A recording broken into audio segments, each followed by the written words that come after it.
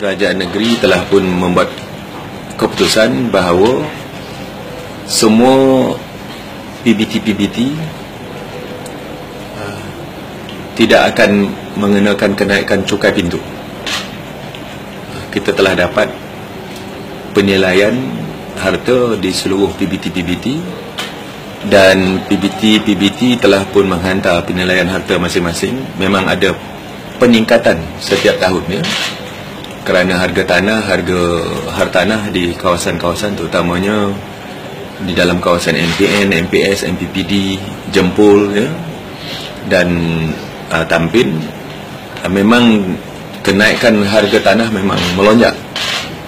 Uh, tetapi kerajaan negeri hari ini telah pun menetapkan bahawa uh, untuk kesekian tahunnya uh, kita tidak akan mengenakan kenaikan cukai pintu.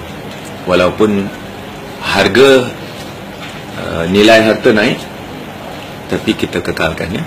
Kekalkan dengan uh, jumlah cukai pintu yang sama. Memandangkan kos penyelenggaraan ya. Kos penyelenggaraan termasuklah kos emolumen semua telah meningkat. Uh, dia akan menyebabkan PBT-PBT akan uh, menghadapi isu kurangnya pendapatan tahunan. Uh, tetapi dalam keadaan uh, sekarang ini uh, kerajaan negeri melihat bahawa sebarang kenaikan cukai ataupun cukai pintu belum uh, ataupun tidak kena pada masa ini. Jadi kita tidak mahu uh, membebankan lagi uh, masyarakat ataupun orang ramai maka itu kita telah buat keputusan supaya tidak ada kenaikan cukai pintu. Dikenakan oleh semua uh, kerajaan-kerajaan tempatan ya uh, dalam Negeri Sembilan untuk tahun ini sampai tahun depan lah.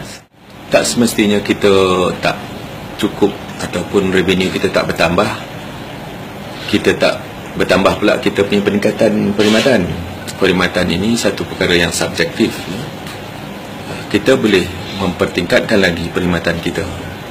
Urusan untuk memungut sampah urusan untuk membetulkan keadaan. Uh, ini saya yakin tidak akan mengganggu ataupun mengurangkan tahap perkhidmatan PBT kerajaan tempatan kepada masyarakat walaupun tidak ada kenaikan dalam cukai pintu yang dikenakan. Bayaran permit bayaran permit ya, yang dikecualikan kepada semua penjaja. Ya. Ha, ini tak termasuk penjaja pasar malam, termasuk ya penjaja-penjaja apa ya?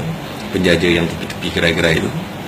Uh, kita akan teruskan uh, dasar kita iaitu untuk tidak mengenakan bayaran permit itu untuk satu tahun lagi.